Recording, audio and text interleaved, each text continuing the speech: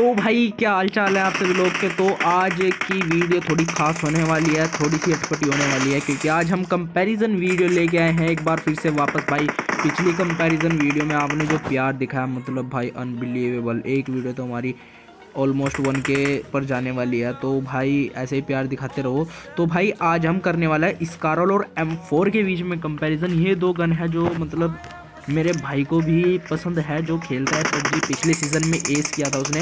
वो भी चलाता है। और भाई, यार, मुझे भी ये बहुत पर्सनली पसंद है, पर मैं एक्चुअली वो चलाता हूँ एक ही ज़्यादा चलाता हूँ, वो ज़्यादा पसंद है। तो इन दोनों के बीच में हम कंपैरिजन करेंगे, कुछ क्राइटेरियाज पर बात करेंगे। जैसे कि हमारा हर बार होता है firstly recoil second attachment third capacity fourth damage and fifth firing speed तो भाई फायरिंग स्पीड सबसे आखिरी में है।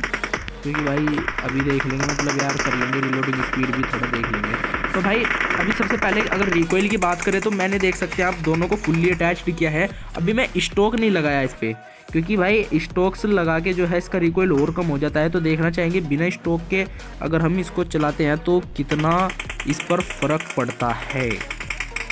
तो लेट्स बिगेन देखते हैं अभी यहाँ पर चलते हैं। ए के उसको सॉरी ए के बोल रहा हूँ मैं एम फोर का रिकॉइल देखते हैं। भतेरा रिकॉइल है भाई, भतेरा। उसके बाद स्कारल का रिकॉइल देखते हैं ऑलमोस्ट उस लाइन तक गया था।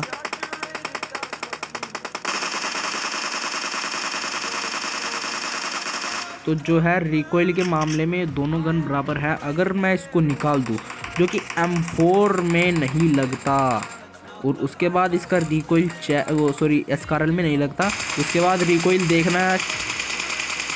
ओ भाई। तो रिकॉइल के मामले में तो मैं कहना चाहूँगा कि जो हमारी क्या है, यार ये क्या उठा लिया इसमें जो हमारी रिकॉइल के मामले में तो भाई मुझे लगता है जहाँ तक स्कारल बेटर है रिकॉइल के मामले में। क्योंकि भाई देखिए कंट्रोल करके मार रहा हूँ मैं इसमें कंपनसेटर लगा हुआ है एक ही जगह। अब इससे देखता हूँ। तो दोनों मुझे बराबर लग रही हैं तो दोनों को एक एक पॉइंट मिल जाता है।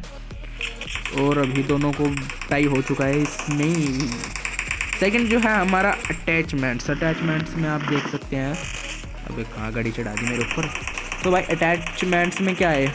एक एक मसल्स में लगा सकते हो आप, कुछ भी कंपनसेटर सप्रेसर कुछ भी एनीथिंग एज यू विश और ग्रिप भी आप सारी लगा सकते हैं। मैग भी आपको इसी लगा सकते हैं। यहाँ पर जो एडवांटेज है एम फोर को, वो है इसका। आप इसमें एक स्टोक लगा सकते हैं, जिसका आपको, जिससे आपको रिकॉइल जो है ना, वो बहुत ही अच्छा हो जाता है। मतलब कंट्रोल करने में थोड़ी इजी भी होगी और कम भी होगा। तो ये लगा सकते हैं आप, और भाई ऊपर तो दोनों में सिक्स एक्स तक लगा सकते हैं। एट एक्स नहीं लगा सकते, और अगर फीचर फ्यूचर में फीचर बोला फ्यूचर में कभी फिफ्टीन एक्स आता है तो वो भी नहीं लगा सकते। तो अभी इन दोनों का अगर हम देखें तो यहाँ पर एम फोर क्लियर विनर है। अभी पॉइंट है एम फोर के टू स्कार वन अभी आते हैं हम अपने कौन सा सेक्शन था ये? यार मैं भूल गया सेक्शन अभी डैमेज वाला सेक्शन आएगा। तो अभी आते हैं हम डैमेज पर। डैमेज देखते हैं कौन सी गन का ज़्यादा है। अभी भागे भागे जाते हैं वहाँ पर।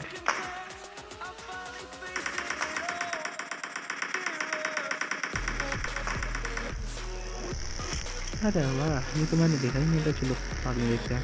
हमारी प्यारी बग्गी, ये रही, पहले हम इससे फोड़ेंगे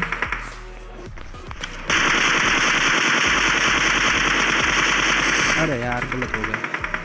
मैंने कुछ ज़्यादा ही स्प्रे कर दिया था, एकदम से इस पर स्प्रे कर दिया था। जो कि मुझे नहीं करना चाहिए था, क्योंकि पता नहीं चला कितनी देर में फट गई। अभी दोबारा से करते हैं।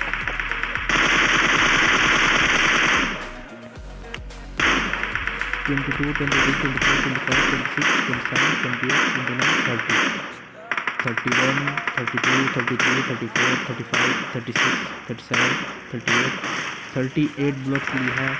इसमें पबजी को डिस्ट्रॉय करना। है अब आ जाते हैं अपनी प्यारी स्टारल के। थर्टी एट ब्लॉक ली है ना।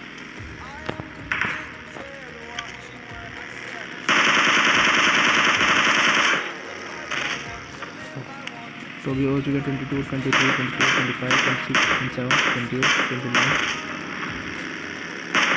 भाई यार thirty thirty one thirty two thirty three thirty four thirty five thirty six thirty seven thirty eight और इसने भी पूरी थर्टी एट बुलेट ली है, बग्गी को डिस्ट्रॉय करने में। तो यहाँ में कहूँगा दोनों टाई हो जाते हैं। अभी पॉइंट है एम फोर के थ्री और इसके स्कारल के। अभी बात आ देते हैं, हम अपने उसमें क्या है कैपेसिटी में। तो भाई, अगर कैपेसिटी की बात करें तो भाई, दोनों में बराबर कैपेसिटी है। दोनों चालीस बुलेट्स होल्ड करती हैं, दोनों में आप फोर्टी कैरी कर सकते हो। कैरी कर सकते हो एक्सटेंडेड लगा के आप थर्टी बुलेट कैरी करते हो। अभी जो लास्ट सेक्शन है फायरिंग अभी मैं अपनी वॉच को ले आता हूँ। तो ये रही मेरी वॉच मेरे पास ही। है अभी अभी मैं इसमें टाइमर लगा देता हूँ और इसको स्टार्ट करूँगा जब बुलेट्स चलाऊँगा और देखते हैं कितनी देर में बुलेट्स निकालते हैं। तो पहले इसका ले लेता हूँ। वन टू थ्री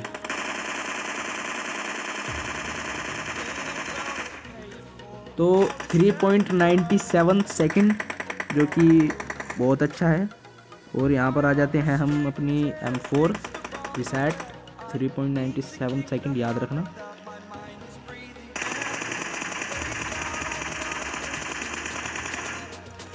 तो 4.38 सेकंड थोड़ा सा डिले हुआ।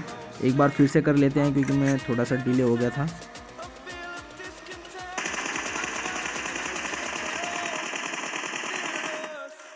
तो जी हाँ 4.10 सेकेंड अप्रोक्स है। तो यहाँ पर क्लियर विनर जो है हमारी इस कारण है। और पॉइंट जो है हमारे यहाँ पर बराबर हो रहे हैं। क्योंकि भाई, अभी स्टॉक के मामले में वो आगे गया था तो यहाँ पर पॉइंट बराबर हो जाते हैं। तो अभी क्या कहना चाहोगे? एक राउंड और हो जाए।